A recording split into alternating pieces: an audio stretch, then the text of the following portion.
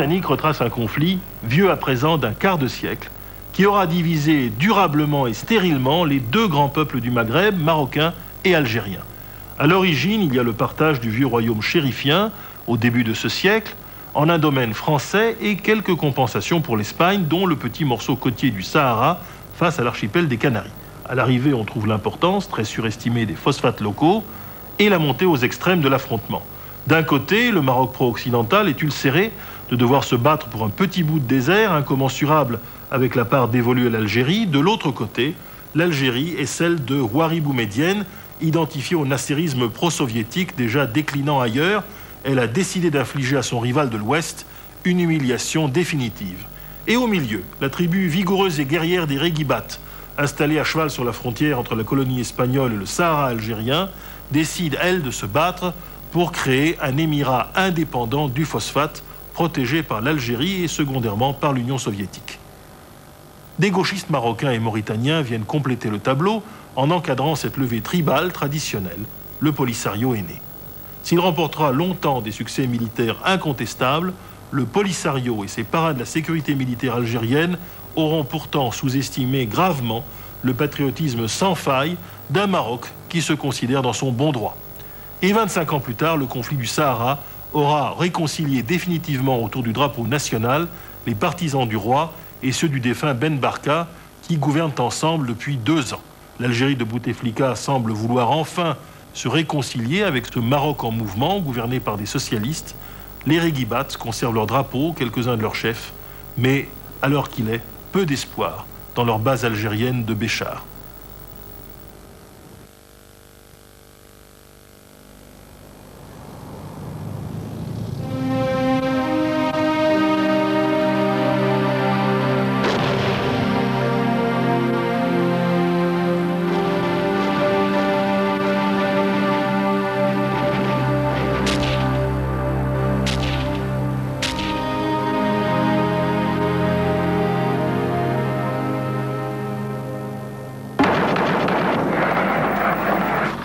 Pendant 16 ans, deux armées se sont livrées une guerre sanglante pour le contrôle du Sahara occidental, une des régions les plus inhospitalières du monde. D'un côté, les combattants du Front Polisario, le mouvement indépendantiste. Et de l'autre, toute la puissance militaire du Royaume du Maroc, résolu à garder un territoire qu'il occupait depuis 1975.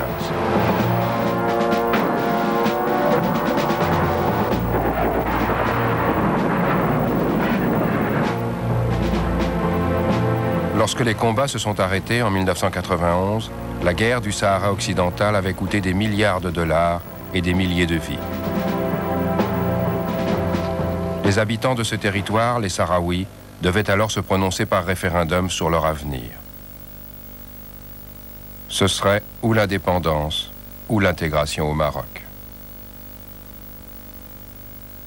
Mais depuis, ce référendum n'a cessé d'être reporté. Les Sahraouis n'ont toujours pas voté et tant qu'ils ne l'auront pas fait, le conflit ne sera pas résolu et cette guerre oubliée pourra se rallumer à n'importe quel moment.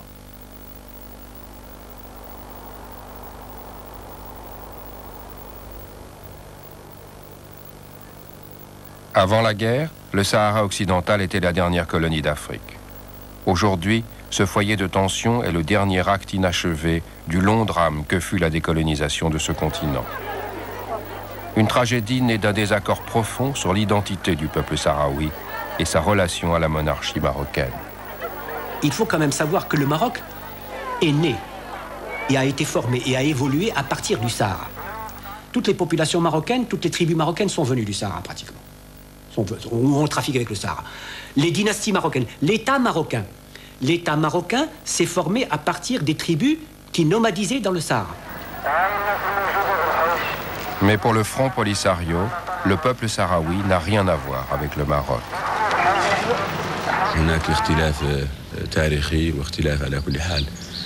Toute son histoire, toute sa tradition font de la population du Sahara occidental un peuple spécifique, parfaitement distinct de ses voisins. Cette spécificité est réelle et il n'est pas besoin d'autre justification pour affirmer que le peuple sahraoui est un peuple en soi. Et de fait, la résistance des Sahraouis à l'occupation, d'abord par les Espagnols puis par les Marocains, démontre à elle seule que ce peuple a le droit à l'autodétermination. C'est en tout cas la conviction du chef du Polisario.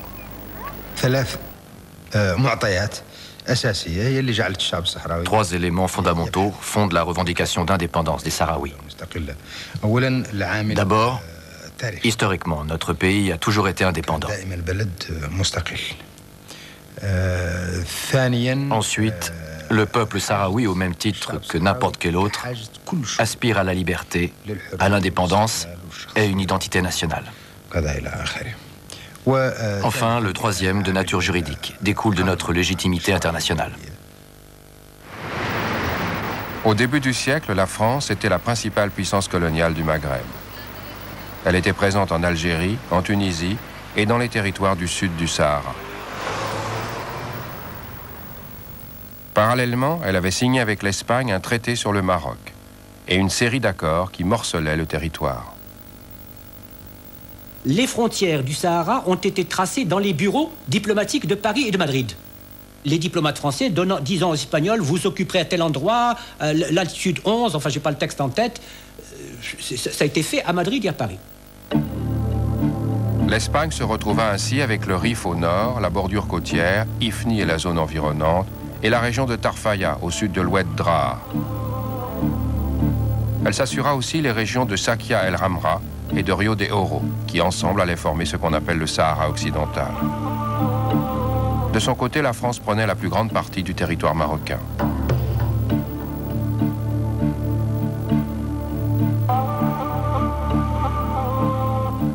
À partir de l'occupation de l'Afrique noire, les puissances coloniales ont commencé à grignoter ce qu'on appelait à l'époque l'empire chérifien. aucun pays n'a été dépecé par le colonialisme comme l'a été le Maroc. Ne serait-ce que pour la raison que le Maroc est le dernier pays au XXe siècle à subir la colonisation. Encore ce terme est impropre, étant donné qu'il a subi le protectorat. Sous le régime du protectorat, le sultan conservait le gouvernement du royaume le véritable pouvoir appartenant au général Lyotet, le premier résident général. Celui-ci souhaitait que l'économie se développe et que la France en profite. Mais il commença par écraser la rébellion des tribus. On appela ça la pacification. Les Espagnols, en revanche, s'intéressèrent bien moins à l'économie, mais se heurtèrent à une opposition tribale farouche. La guerre du Rif commença en 1921 par une cinglante défaite infligée aux forces espagnoles.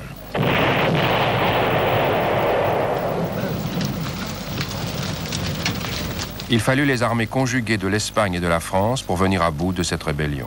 C'est Lyotet qui commanda les opérations, avec côté espagnol un jeune officier qui allait plus tard faire parler de lui en politique espagnole, Francisco Franco.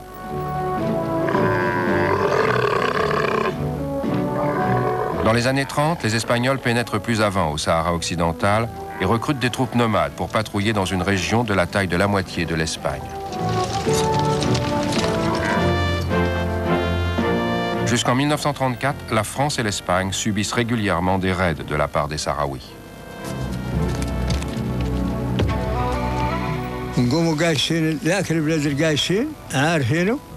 On chevauchait de nuit vers l'endroit où ils étaient. On attendait l'aube et on attaquait.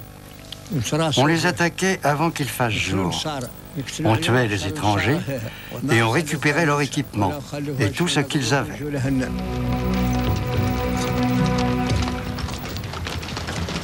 Mais cette résistance sahraoui finit par être vaincue lorsque les forces espagnoles occupent les points clés de la région. L'Espagne fonde une nouvelle capitale coloniale, La Ayoun et pour la première fois contrôle entièrement le territoire.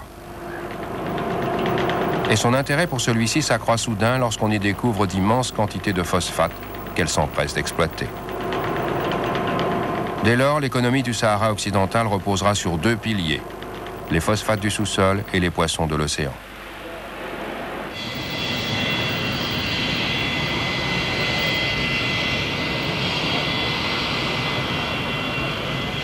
En 1950, Franco vient ici en voyage officiel.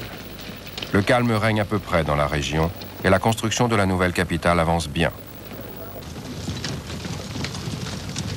À mesure que les Sahraouis y affluent pour trouver du travail, leur mode de vie traditionnel commence à changer.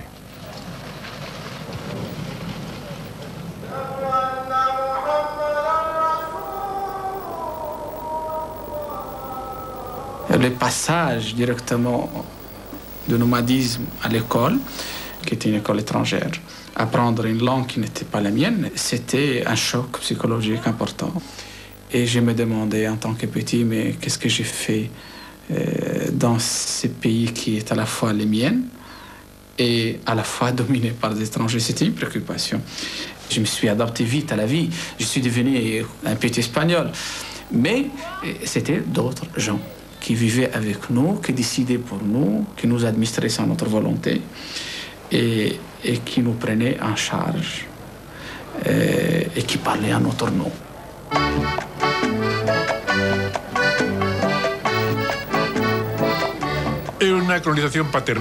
C'était un colonialisme paternaliste, comme on disait, et les Sahraouis en ont tiré beaucoup d'avantages. Des emplois rémunérés, les chefs de tribu et leurs suites ont été payés par l'Espagne, des pensions ont été données aux veuves et aux nécessiteux. Tout cela était très paternaliste et visait avant tout à éviter tous les problèmes.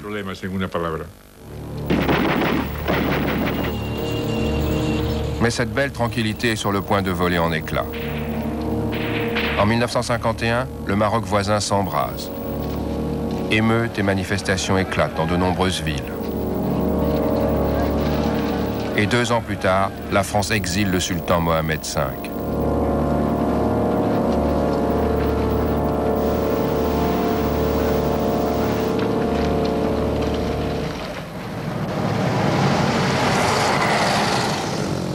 La vague de ferveur nationaliste balaie toute l'Afrique du Nord-Ouest et en 1954, la guerre d'Algérie commence.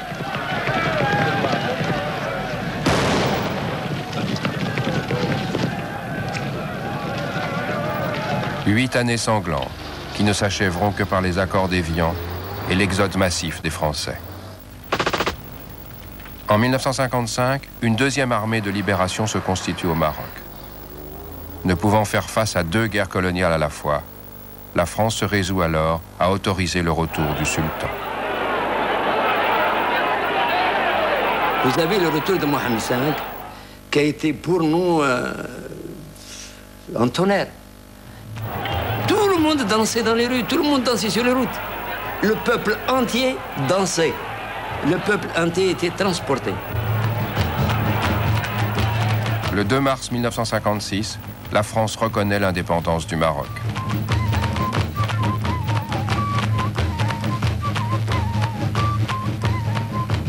Le mois suivant, l'Espagne accepte de renoncer à son protectorat du Nord, mais maintient sa présence dans les villes côtières de Ceuta et Melilla. Elle garde aussi Ifni, Tarfaya et le Sahara espagnol.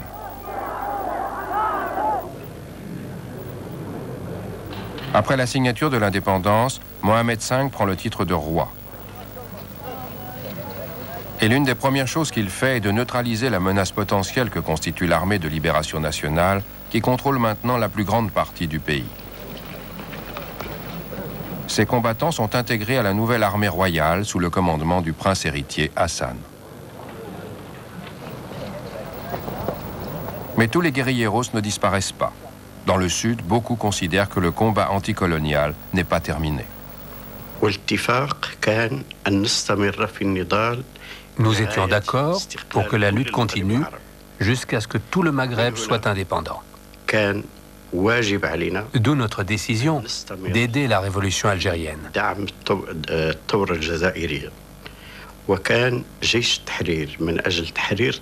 Une armée de libération pour libérer et unifier le sol sahraoui était le seul moyen de détourner les Français de la révolution algérienne afin de soulager cette dernière.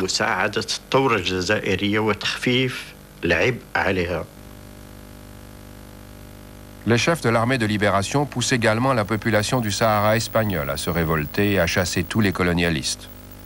Beaucoup entendent cet appel et constituent des unités de guérilla.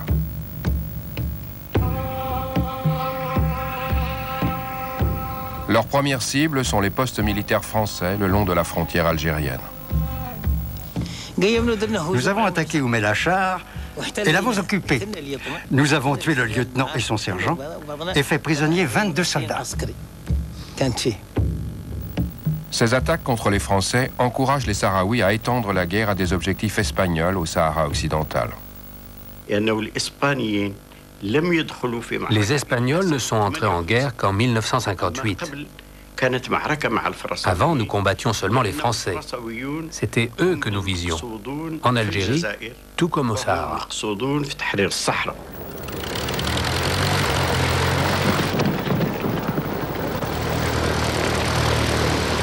La France et l'Espagne sont maintenant résolues à éliminer l'armée de libération une bonne fois pour toutes. Une campagne conjointe, baptisée Écouvillon, menée par des parachutistes et des unités motorisées, porte à la guérilla des coups meurtriers. Les avions arrivaient de jour, nous bombardaient, tuaient des gens et repartaient. C'est arrivé dans le là-haut. Les gens ont fui à pied et ont couru se cacher sous les arbres pour qu'on ne les voit pas. Il y a eu des blessés et des morts. Ceux qui sont morts n'ont pas compris ce qui leur arrivait. L'armée de libération est anéantie, mais cette campagne a réveillé l'intérêt du Maroc pour la région. En 1958, alors que l'opération Écouvillon se poursuit, le roi Mohamed V précise pour la première fois très clairement les intentions du Maroc, à l'occasion d'un discours prononcé à Mohamed, une petite ville du sud.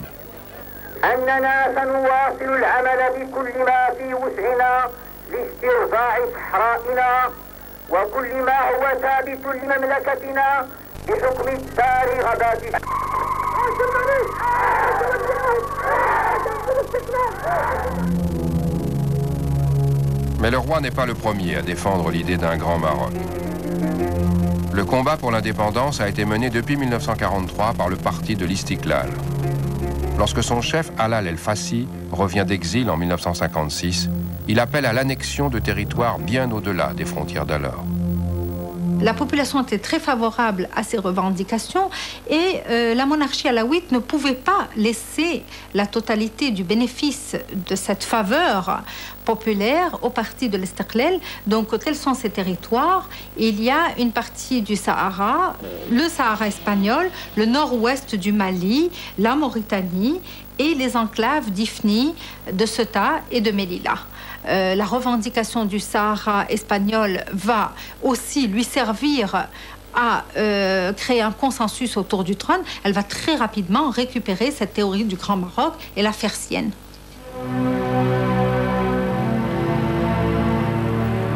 Mohamed V, le libérateur, ne verra pas se réaliser son rêve de Grand Maroc.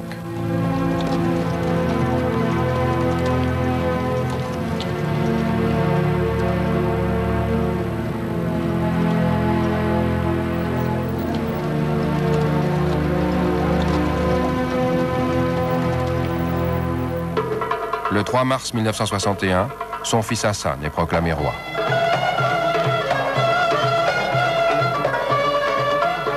Mais lorsque celui-ci jure d'exaucer le rêve de son père, il n'imagine sans doute pas le prix qu'il lui faudra payer.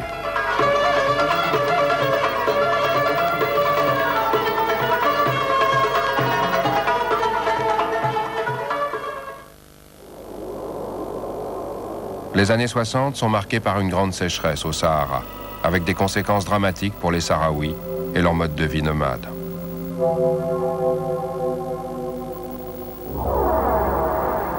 dans la fin des années 60, le Sahara été marqué par une sécheresse horrible qui a appauvri des milliers de gens qui étaient riches. Des gens qui avaient des milliers de chameaux et qui d'un jour à l'autre, ils n'avaient plus rien. Mais ce sont des gens nobles. des gens nobles, très nobles, euh, depuis des siècles et que euh, du jour au lendemain, ils étaient dans des baraques, dans des bidonvilles, dans la banlieue de Laayoune, ou à Dakhla, ou Asmara. C'était déchirant, c'était frustrant, c'était horrible. Beaucoup de Sahraouis se retrouvent brutalement au contact d'une culture radicalement différente. S'ils veulent survivre, ils doivent s'adapter à un nouveau mode de vie. on était en train de vivre une adaptation rapide au monde moderne, une consistance avec le pays occupant, une connaissance chaleureuse, humaine des gens. Et à la fois, on était inhibé dans notre euh, souhait de devenir nous-mêmes. Mais pour une poignée de jeunes, c'est une occasion. Et à la fin des années 60, une petite intelligentsia très influente commence à émerger.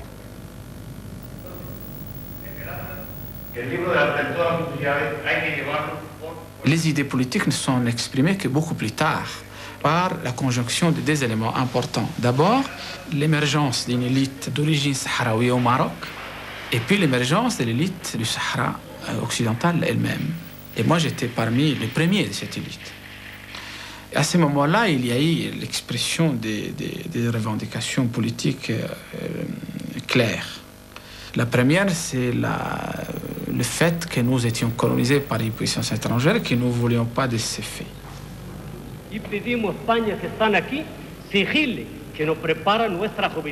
Et la deuxième, c'était le choix.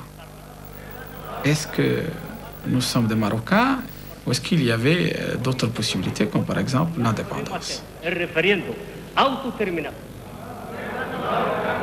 C'était le déchirement des élites sahraouis. Le 11 mai 1967, les autorités espagnoles annoncent la mise en place d'une assemblée, la GEMA. Mais il ne s'agit que d'un organe consultatif, toutes les décisions restant du ressort du gouvernement espagnol à Madrid. Dès 1960, le mécontentement des Sahraouis prend des proportions importantes. Une délégation rencontre l'administration espagnole, mais se heurte à une indifférence polie. Résultat, une grande manifestation. Les Espagnols n'ont pas accepté, ils ont cru que c'était une rébellion et ils l'ont traité en conséquence.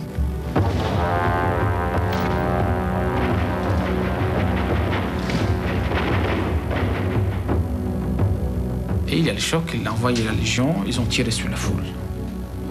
Et c'était le premier martyr. Pour eux aussi, ça a été un choc.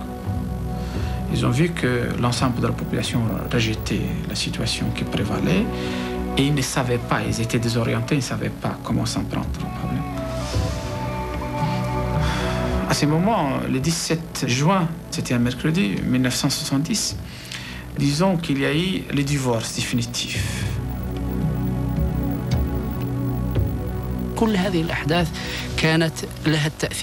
Tous ces événements ont beaucoup contribué à créer un climat général de frustration et de résignation. Les Sahraouis ont eu le sentiment qu'ils n'obtiendraient pas leur droit à l'autodétermination et à l'indépendance par des moyens pacifiques et la négociation.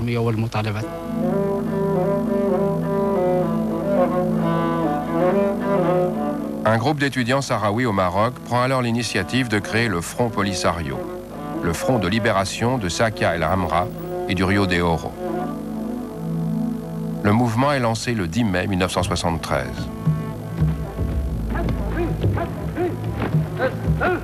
Son chef charismatique est Al-Weli Mustafa Sayed, un ancien étudiant en droit issu d'une famille nomade. Il a alors 25 ans. L'idéologie du Polisario, avant tout, permettre au peuple sahraoui d'exercer son droit à l'autodétermination et à l'indépendance. Mais pour les Marocains, le Polisario est à la fois une invention espagnole et un instrument au service des ambitions de l'Algérie dans la région. Je vous dirais sincèrement que le Polisario est une création de l'Espagne et aidé par les Algériens et par les pays euh, qui étaient opposés à ce que le Maroc recouvre sa souveraineté sur le Sahara, comme la Libye. Peu après sa création, le Polisario lance sa première attaque contre un poste militaire espagnol et tue plusieurs soldats.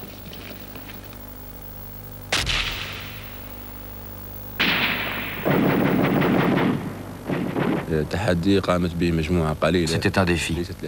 L'opération a été menée par un petit groupe sans aucune préparation, sans la moindre expérience du combat, et armé seulement de vieux fusils. La plupart des groupes n'avaient ni armes ni moyens logistiques pour lutter.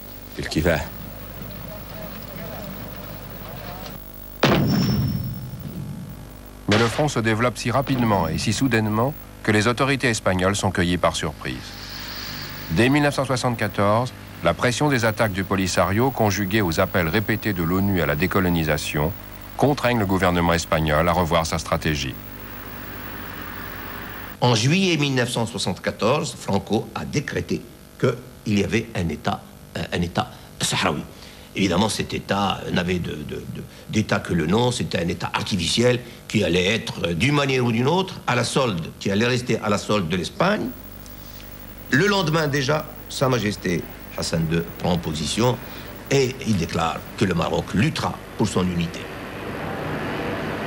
Pendant que Madrid et les Nations Unies exigent un référendum, le roi du Maroc s'assure l'appui de la Mauritanie, qui a aussi des prétentions sur le Sahara occidental, pour saisir la Cour internationale de justice.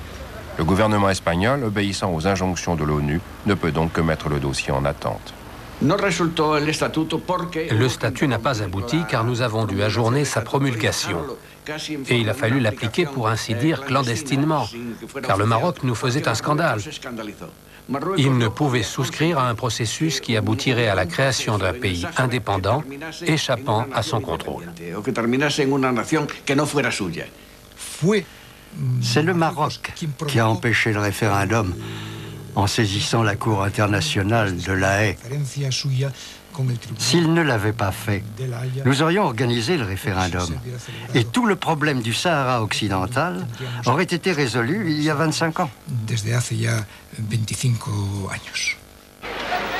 En mai 1975, les Nations Unies envoient une mission d'enquête à Laayoune, la capitale coloniale. La délégation est accueillie par un débordement de passion nationaliste orchestré par le Polisario, et l'ONU recommande sans hésitation que les Sahraouis soient les arbitres de leur propre avenir. Eh, les Espagnols vivant à Laayoune, les militaires et les fonctionnaires gouvernementaux ont été absolument stupéfaits. Eh, eh, Ils n'en croyaient pas leurs yeux. Et moi-même, en tant qu'Espagnol, j'étais très heurté lorsque j'ai appris que des Sahraouis criaient « à mort l'Espagne » devant la délégation des Nations Unies.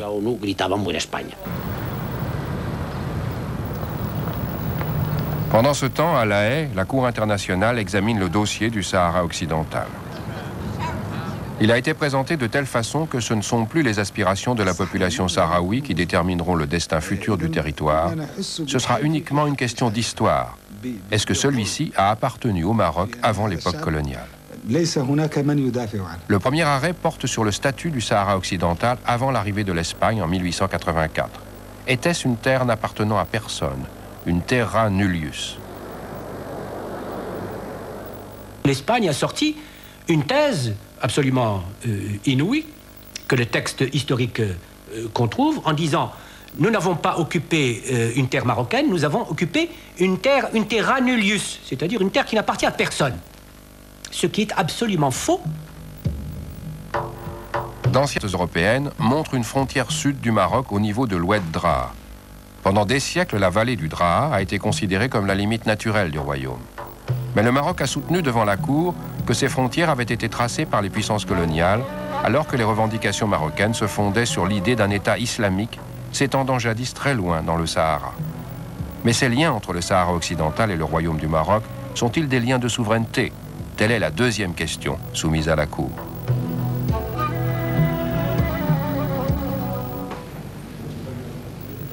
Le 16 octobre 1975, après 12 mois de délibéré, les juges se prononcent. La Cour a rendu son arrêt stipulant que ni le Maroc ni la Mauritanie ne pouvaient revendiquer une souveraineté historique sur le territoire du Sahara occidental et le peuple sahraoui. Mais la Cour dit aussi qu'il y a eu des liens d'allégeance entre le sultan du Maroc et certaines des tribus sahraouis. À l'époque, n'est-ce pas, pendant des siècles et des siècles, quelles étaient les relations entre les gouvernants et les gouvernés, si l'on peut dire? C'était des liens d'allégeance. C'était des liens d'allégeance. Les choses n'étaient pas aussi précises qu'elles le sont actuellement sur le plan du droit international. Donc la Cour a reconnu qu'il y avait des liens. Toutefois, précise-t-elle, ces liens n'affectent en rien le droit du peuple sahraoui à décider lui-même de son avenir. Le roi du Maroc choisit alors de prendre lui-même les choses en main. Le jour même où l'arrêt est rendu, il appelle 350 000 volontaires de tout le pays à venir se masser à la frontière pour une spectaculaire manifestation en faveur de l'annexion du Sahara occidental. Une manifestation que le roi baptise Marche verte, la couleur de l'islam. Il y a des années que Hassan II rêve d'intégrer le Sahara espagnol au Grand Maroc. Et cette fois, il pense l'heure venue. La monarchie avait des problèmes sociaux qu'on voyait au Maroc, avec des grèves estudiantines, euh, des grèves euh, ouvrières euh, et surtout l'armée qui, par deux fois, essaye de, tuer le, roi alors il a des impératifs, c'est se maintenir sur le trône, sauver son régime, faire des ouvertures dans le sens de l'opposition et surtout, surtout dépolitiser l'armée, c'est-à-dire l'éloigner des centres de décision politique.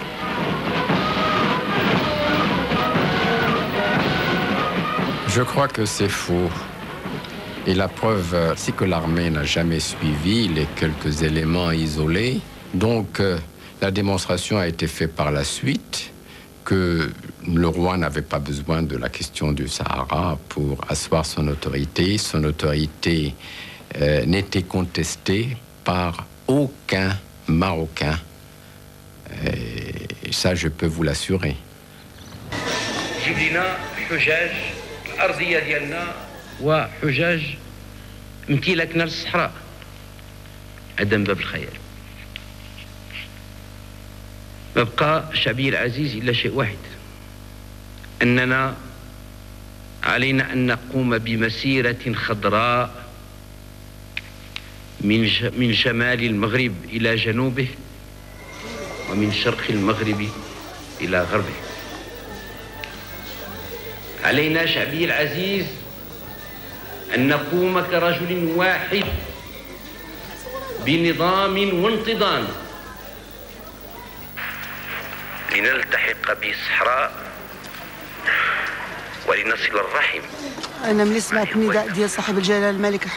Quand j'ai entendu l'appel de Sa Majesté le Roi, Dieu lui accorde la victoire, à la radio, je me suis mise à pleurer. J'étais à la fois troublée, heureuse, surprise, et j'ai beaucoup pleuré. J'ai dit à mon mari que je voulais aller rejoindre mes frères sahraouis. Et il m'a dit, tu ne peux pas, il doit y avoir des hommes là-bas. J'ai répondu, j'irai, même si tu dois me répudier. Nous regardions la télévision marocaine avec des amis lorsque le roi a annoncé la marche verte. C'était un mois avant. Je m'en souviens très bien. Il a donc annoncé la marche et tout expliqué. Et je me suis demandé, qu'est-ce que ça signifie C'est bizarre. 150 000 personnes qui vont venir comme ça, sans tirer un coup de fusil, simplement passer un moment avec les Espagnols. Et tout cela sera parfaitement pacifique. À quoi ça rime Au cours d'un conseil de ministres extraordinaire qui s'est tenu au Palais Royal une nuit de Ramadan, une nuit de Ramadan, le 5 octobre, dans une salle qui par la suite a pris le nom de El Masira. C'est la salle d'El Masira, c'est-à-dire la salle de la marche verte. Et là, c'était évidemment tout le monde était surpris, nous étions tous surpris. Nous avons prêté un serment, un serment de garder le secret. Et Sa Majesté nous a fait l'exposé de son projet, de sa vision. On a reproché à nos services de renseignement au Maroc d'avoir échoué, ceux de notre état-major, du ministère des Affaires étrangères, même ceux des plus hautes instances gouvernementales. Mais personnellement, je ne parlerai pas d'échec, car il semble que le roi Hassan n'ait même pas informé son Premier ministre.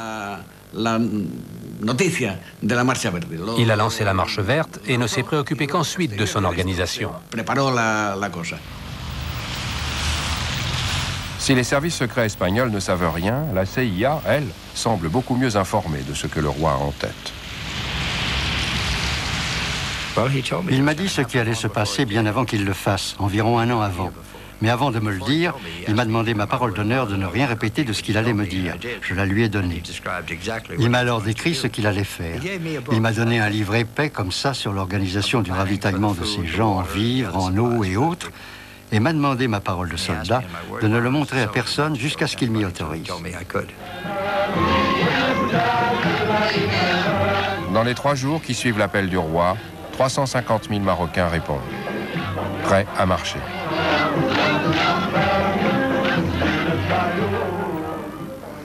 And will all 350,000 marchers, hmm? will all 350,000 marchers hmm. enter uh, Span uh, uh, yes, in Sahara. Sahara. In Sahara.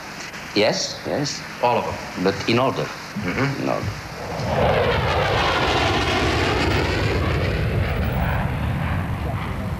Entre-temps, au Sahara espagnol, le Polisario s'est assuré une solide base populaire.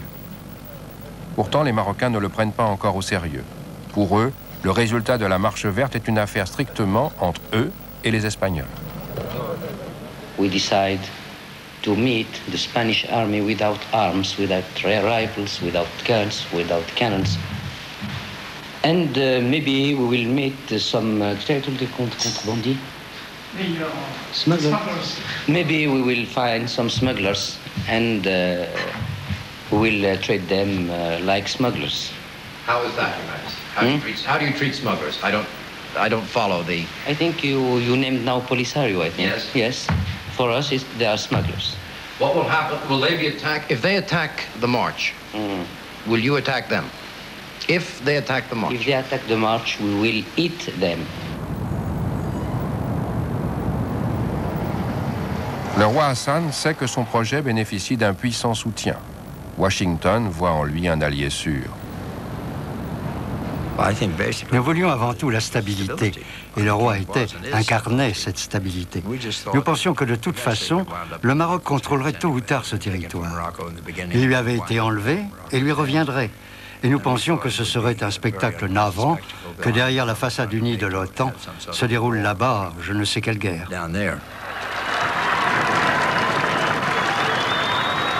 Pour la France giscardienne aussi, le roi Hassan est une pièce maîtresse de sa politique africaine.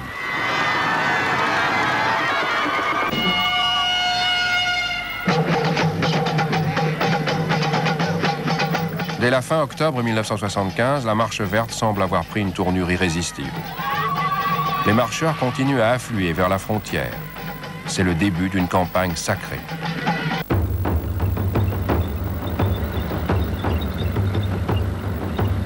Pendant qu'en face, 20 000 soldats espagnols ont juré de défendre le sol espagnol jusqu'à leur dernière goutte de sang, tandis que leurs officiers s'efforcent de convaincre les Sahraouis que leurs intérêts ne seront pas oubliés. El pueblo saharaui está muy preocupado. Primero, porque no comprende el por qué Marruecos quiere invadir su país. Segundo, el pueblo, el pueblo saharaui está muy tranquilo porque sabe que el ejército español se ha comprometido a defender estas fronteras. Él será para nosotros bebida de salvación. Y tercero, es que el pueblo saharaui, a mí, constantemente y en todos los sitios que voy, que voy a muchos, me piden armas. Quieren ellos colaborar con nosotros y dicen que ellos tienen aún más motivos que nosotros para defender estas fronteras.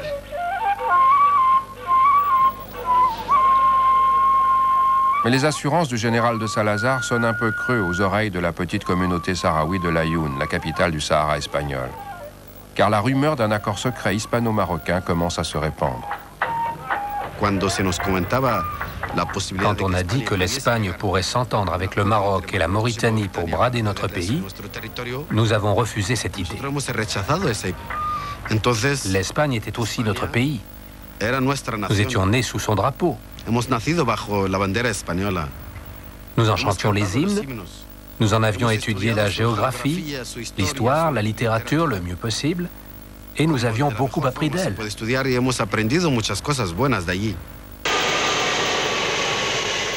Mais alors que l'espoir d'un règlement pacifique s'envole, le gouvernement espagnol entame l'opération Golondrina.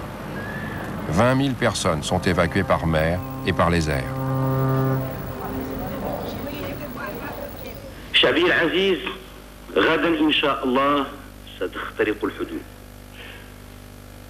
غدا إن شاء الله ستنطلق المسيرة غدا إن شاء الله ستطؤون أرضا من أراضيكم la marche verte, comment vous la décrire?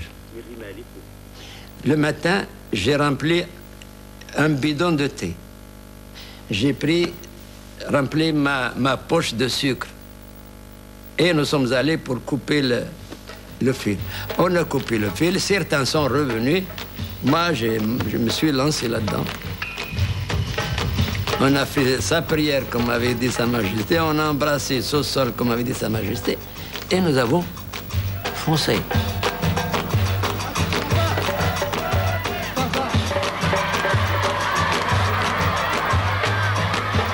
C'était euh, un tonnerre de pas. C'était le feu dans les entrailles. C'était la fatigue, mais gagnée.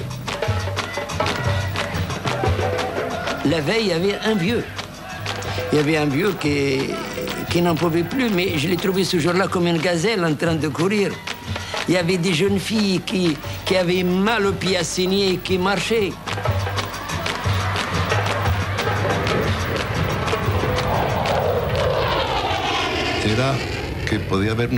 Nous aurions assumé une grave responsabilité si nous avions tiré sur cette masse de gens.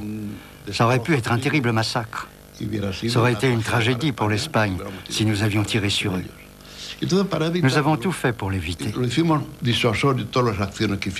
L'Espagne euh, a vu que d'un côté, euh, il leur était difficile de tirer, sur un peuple pacifique euh, de femmes, d'enfants, parce qu'il ne faut pas oublier qu'il y avait 35 000 femmes, 10% des marcheurs étaient des femmes. Donc, ils étaient dans l'obligation de procéder à des négociations. De fait, deux jours avant la marche, le gouvernement espagnol a envoyé le ministre de la Présidence, Caro Martinez, pour passer un accord avec le roi. Caro, un homme direct qui ne mâche pas ses mots, est allé là-bas avec des propositions concrètes. Il faut arrêter cela. Ça peut se résoudre sans guerre. S'il y avait une chose que le gouvernement craignait par-dessus tout, c'était bien une guerre au Maroc, qui n'aurait eu aucun sens, puisque de toute façon, nous partions.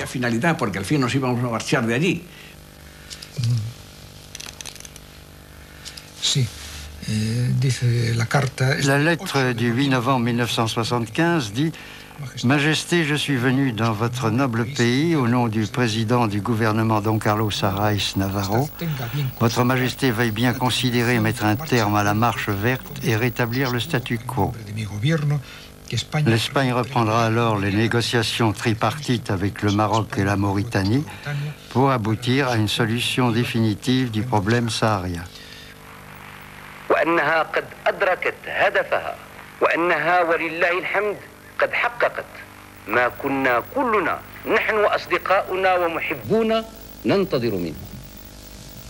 Désormais sûr d'aboutir à un accord avec l'Espagne, le roi renvoie les marcheurs chez eux. Le pari a payé et il a tenu sa promesse de ramener le Sahara espagnol dans le giron du Maroc sans la moindre effusion de sang. À Madrid, l'Espagne accepte le partage de sa colonie entre la Mauritanie et le Maroc. Les Espagnols sont soulagés de leur fardeau colonial, mais le Polisario considère que les Sahraouis ont été trahis.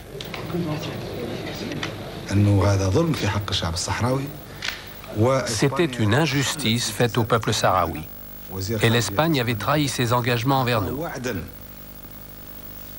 Le ministre des Affaires étrangères espagnol avait à l'époque donné la parole d'honneur de l'Espagne de défendre le peuple sahraoui et son indépendance jusqu'à la dernière goutte de sang de la dernière vieille dame espagnole.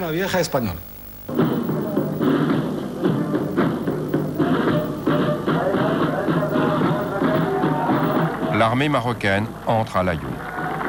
Certains Sahraouis participent aux festivités.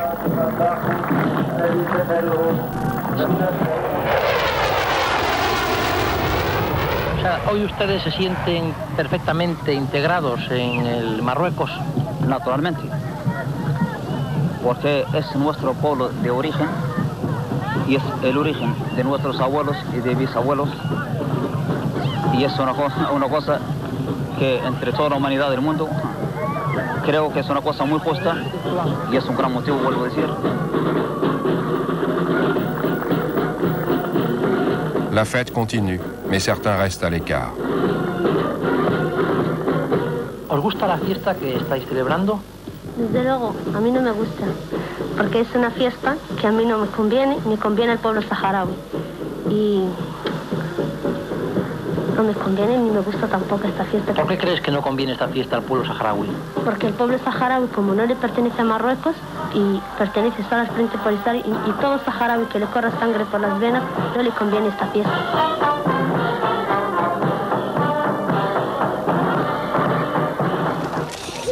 L'armée marocaine prend possession du Sahara occidental, au milieu d'une farouche opposition du Polisario. Des milliers de Sahraouis fuient devant les troupes de l'envahisseur en direction de l'Est, à travers le désert.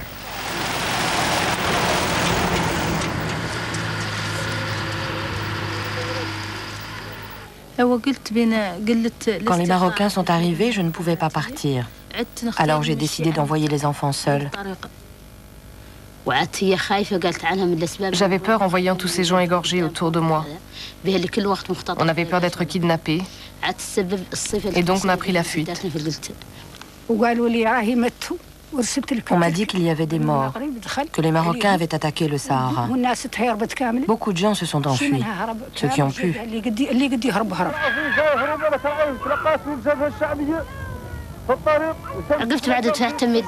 C'était la panique. Les gens se bousculaient, fuyaient dans tous les sens.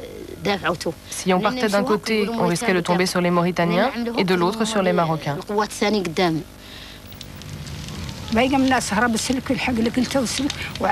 Nous nous sommes réfugiés dans les montagnes et nous nous sommes cachés dans les ravins. Les avions nous bombardaient sans arrêt. Le jour où ils ont attaqué, tous les enfants étaient en train de jouer. Un avion nous a survolés à toute vitesse. Il dégageait de la fumée.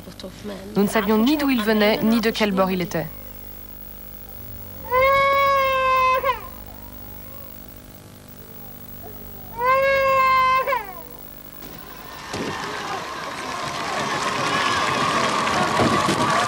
Polisario célèbre l'avènement de sa nouvelle nation en exil, la République arabe sahraoui démocratique. Mais ils sont sans toit, déchus, réfugiés en Algérie, entièrement tributaires de la charité de leurs hôtes. L'assistance de l'Algérie au, Polisario a été euh, pratiquement totale. Ces gens-là sont arrivés euh, en nombre important dans un état de dénuement total. Il a fallu, je crois, les vacciner, euh, les installer dans un campement, les installer dans un lieu qui était hautement symbolique, qui était Tindouf, qui était un lieu de litige entre le Maroc et, l'Algérie.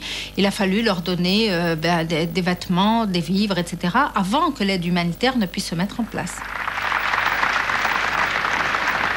En aidant le Polisario, le président algérien Ouari Boumedienne cherche à donner à l'Algérie une stature de puissance régionale, notamment vis-à-vis de ses grands rivaux d'Afrique du Nord, les Marocains, qui de leur côté craignent qu'ils ne se servent du Polisario contre eux comme d'une armée par procuration. Vous êtes obligé de, euh, malheureusement, de vous mettre autour d'une table euh, par quelqu'un qui était les pour nous, quand on parlait avec les gens de Polisario, on parlait avec les Algériens. C'était la, c'était la politique algérienne, c'était le point de vue des Algériens. La cause de la liberté doit être défendue partout. Uh, uh, nous avons subi la domination française et nous les avons vaincus après une guerre très sanglante, qui est devenue un exemple pour nombre de mouvements de libération dans le monde. Et durant les années 60, nous avons accueilli beaucoup de ces mouvements de libération en Algérie. Uh, Angola, Mozambique, Cap-Verde, Guinée-Bissau et ANC, tous avaient leur siège à Alger, qu'on appelait à l'époque la Mecque des révolutionnaires. C'était donc une politique de la part de l'Algérie d'aider les mouvements de libération partout dans le monde.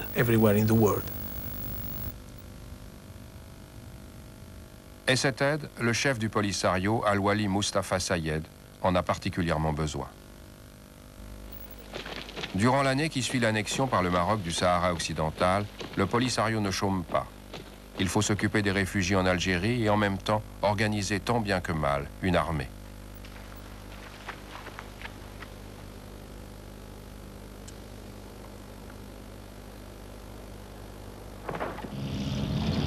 Mais il y a une victoire possible.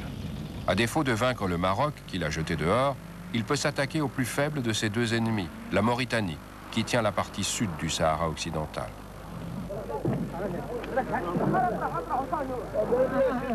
En juin 1976, une colonne du Polisario effectue un voyage de 1500 km vers le sud pour aller bombarder la capitale, Nouakchott.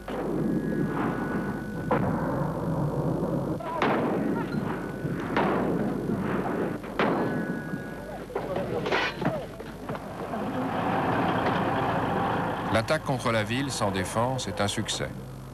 Mais durant sa retraite, le Polisario subit un coup terrible. Les guerrilleros sont cernés par l'armée mauritanienne. Dans la fusillade qui s'ensuit, des centaines de combattants du Polisario sont tués, dont leur chef, El Weli.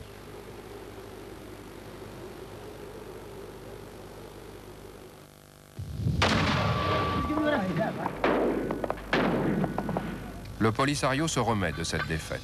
Et dès 1978, ses attaques contre la Mauritanie commencent à porter à celle-ci des coups sévères. Beaucoup visent le train de minerai de fer reliant Zouerat à Nouadhibou, ce qui pénalise gravement l'économie mauritanienne. Le président de la Mauritanie, Ould Dada, paie le prix d'une guerre impopulaire. En 1978, il est renversé et un an plus tard, la Mauritanie renonce à toute revendication sur le Sahara occidental. Le Polisario peut maintenant tourner toute son attention vers le Maroc. En 1979, la guerre atteint son paroxysme. Mieux équipé grâce à l'aide de la Libye, mais inférieur au Maroc en nombre et en armement, le Polisario a appris à exploiter au mieux ce qui fait sa force, les raids à travers le désert.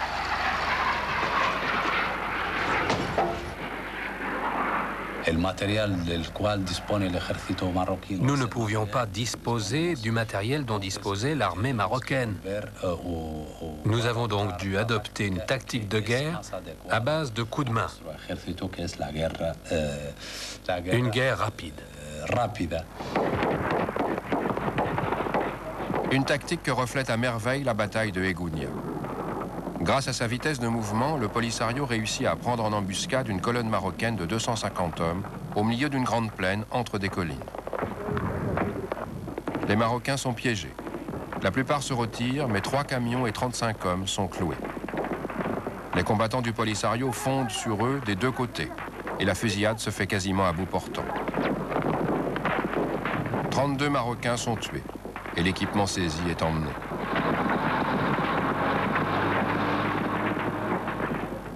Les survivants sont faits prisonniers.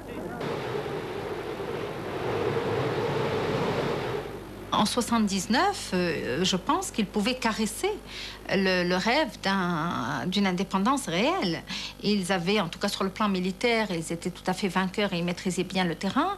Ils avaient toute la politique euh, de, de Boumedienne derrière eux. L'Algérie était extrêmement puissante. Mais aux États-Unis, une nouvelle administration s'installe, animée d'une idéologie de guerre froide implacable. Une administration toute prête à aider puissamment un vieil ami dans le besoin. Nous étions inquiets car nous considérions que le Polisario était en quelque sorte le bras armé des Algériens, qui eux-mêmes étaient celui des Soviétiques. 95% de l'équipement militaire de l'Algérie, qui était bien plus important que tout ce qu'on a pu donner ou vendre aux Marocains, était soviétique. Nous avons donc pensé que les Algériens tentaient ainsi de s'assurer un port sur l'Atlantique. Et s'ils l'avaient, ce seraient les Soviétiques qui l'auraient.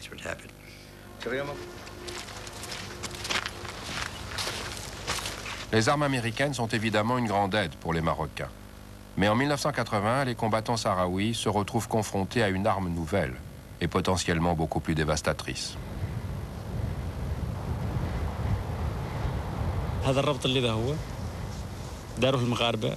Ce mur a été construit par les Marocains en 1985 pour se protéger, car ils avaient perdu plusieurs batailles contre les Sahraouis. Ils l'ont donc construit pour contrer les attaques nocturnes et répétées dont ils étaient la cible.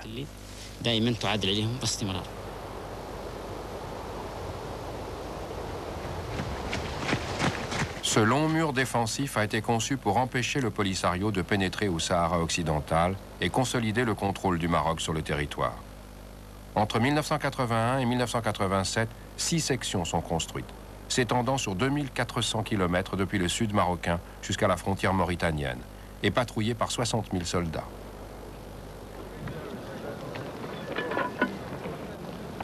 Pour défendre ce mur, les Marocains sont largement tributaires de la technologie américaine. C'était un mur très sophistiqué devant lequel le terrain était divisé en carrés, chaque carré pouvant être arrosé par un tir concentré d'artillerie. Il serait immédiatement ciblé. Et c'est évidemment très désagréable quand tout vous arrive dessus en même temps. C'est pas boum boum boum, c'est 50 obus d'un coup. En plus, il y avait dans ces zones des capteurs visuels et acoustiques. Et dès que les Marocains entendaient quelque chose, ils ouvraient immédiatement le feu, en général assez meurtrier.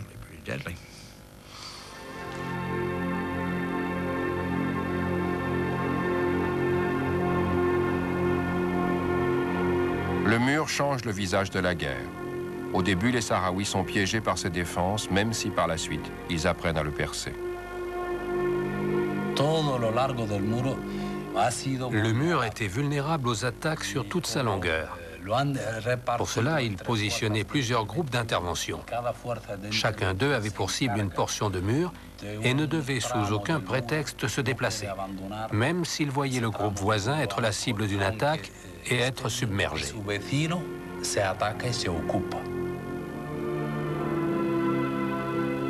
Les principales villes et les zones stratégiques situées derrière le mur restent effectivement aux mains des Marocains.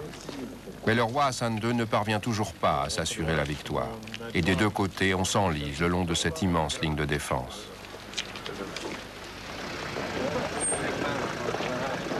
Le Polisario lutte aussi pour se faire accepter sur le front diplomatique. En 1987, il est déjà officiellement reconnu par plus de 70 pays.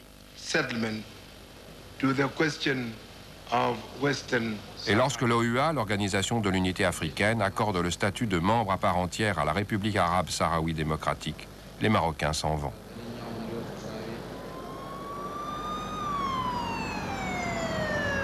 À New York, l'Assemblée générale et le Conseil de sécurité des Nations unies ont adopté plus de 20 résolutions appelant à la fin du conflit. Pendant 13 ans, malgré le coût humain, aucun des deux camps n'a accepté de traiter avec l'autre. Mais le réalisme politique et le fardeau économique que représente cette guerre finissent par pousser le Maroc et le Polisario à rechercher un règlement.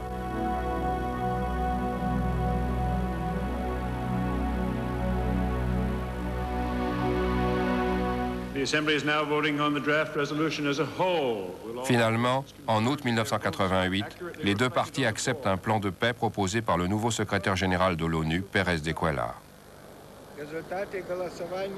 D'abord un cessez-le-feu et ensuite un référendum d'autodétermination. Salué par le monde entier, ce compromis est la première proposition de règlement global ayant l'assentiment des deux adversaires. Et pourtant, les combats reprennent. Guerre dans le désert et joute sur le front diplomatique.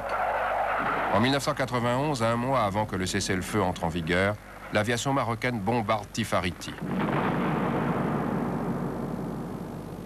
C'est le dernier acte d'un conflit de 16 ans. Les deux parties ont enfin admis que les Sahraouis décideraient eux-mêmes de leur avenir. Pourtant, même si les armes se sont tues, le vote a depuis lors été ajourné à de multiples reprises, et les polémiques à ce sujet ont jalonné les huit dernières années. Aux dernières nouvelles, il est prévu pour juillet 2000. En attendant, une guerre, fut-elle oubliée, frappe toujours les plus vulnérables. Il y a ceux qui sont morts au combat, mais aussi les dizaines de milliers de réfugiés qui rêvent de rentrer chez eux. 24 années d'exil dans les camps ont vu toute une génération naître et accéder à l'âge adulte. Plus le temps passe, plus grandit l'amertume des Sahraouis et le nombre de ceux qui craignent que la seule réponse possible soit la reprise de la guerre du désert.